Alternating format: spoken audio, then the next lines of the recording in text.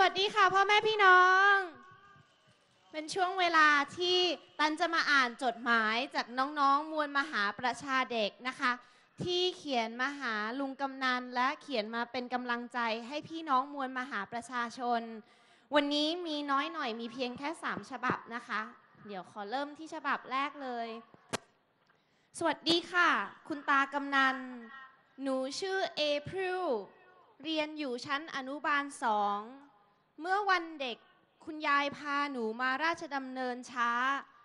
หนูไม่ได้ถ่ายรูปกับคุณตากำนัน คุณยายก็ให้หนูถ่ายรูปกับภาพของคุณตา และคุณลุงสาธิตที่ตั้งไว้ คุณยายบอกว่า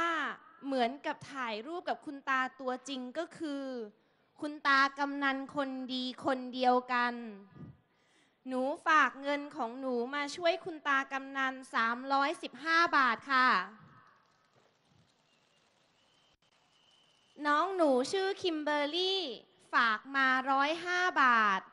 และหนูส่งรูปถ่ายมาด้วยค่ะ วันนี้คุณยายเอาน้ำดื่มมาส่งให้คุณตากำนัน 1,200 ขวดด้วยค่ะ คุณตากำนันรักษาสุขภาพด้วยนะคะ หนูและน้องเป็นกำลังใจให้ค่ะ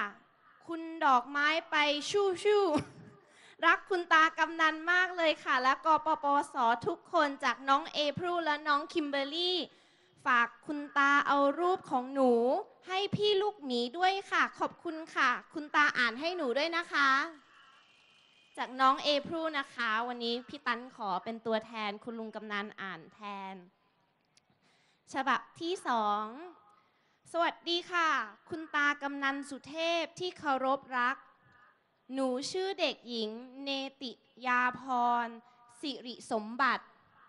ชื่อเล่นชื่อน้องมิ้ว เรียนอยู่ชั้นป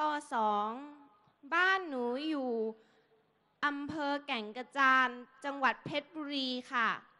หนูดูบลูสกายกับคุณปู่และคุณย่าทุกวันเลย ที่บ้านของหนูเลี้ยงโคนม เวลาลุงกำนันสุเทพ เรียกรวมพลเพื่อช่วยชาติเมื่อไหร่ คนที่บ้านก็จะสลับกันมาเพื่อกู้ชาติทุกครั้งค่ะ หนูอยากมาด้วย แต่พ่อและแม่เป็นห่วงเพราะ พวกโกงชาติจะทำร้ายเด็กอย่างหนูได้เหมือนที่ผ่านๆมา หนูอยากให้ประเทศชาติของเราสงบ ไม่มีการโกง สามัคคีกัน รักในสถาบันของชาติค่ะ หนูฝากความหวังไว้กับพี่น้องมวลมหาประชาชนด้วยนะคะ ขอให้ทำให้สำเร็จ ไล่คนไม่ดี ไล่รัฐบาลยิ่งลักษ ไปให้ได้นะคะ หนูฝากเงินมาให้คุณตากำนันสุเทพ 200 บาทค่ะ เงินนี้เป็นเงินที่บริสุทธิ์ค่ะ มาจากการเก็บตังค่าขนมของหนูค่ะ ไม่ใช่เงินจากการโกงเหมือนปูยิ่งลักษ์ค่ะ ขอบคุณมากค่ะฉบับสุดท้ายนะคะ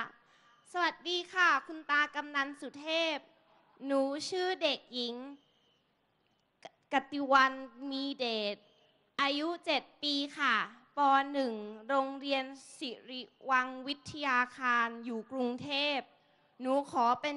หนูขอให้กำนันชนะเร็วๆนี้นะคะ หนูขอหุ้นกับคุณตากำนัน 200 บาทค่ะ ขอบคุณมากเลยค่ะ แล้วก็มีรูปวาดด้วยนะคะ ยังไงมีเพียง 3 ฉบับ ครบแล้วนะคะ ก็สำหรับน้องๆทางบ้านนะคะ ยังส่งจดหมายมาให้ลุงกำนันได้เสมอส่งมาที่สวนลุมได้เลย และทุกๆวันพี่ปันก็จะนำจดหมายของน้องๆ มวลมหาประชาเด็กมาอ่านให้กับพ่อแม่พี่น้องทุกๆท่านฟัง โดยเฉพาะคุณพ่อคุณแม่และครอบครัวของน้องๆนะคะ ที่ได้ส่งจดหมายมาเป็นกำลังใจให้พี่น้องมวลมหาประชาชน เพราะเด็กๆนี้คืออนาคตของชาติ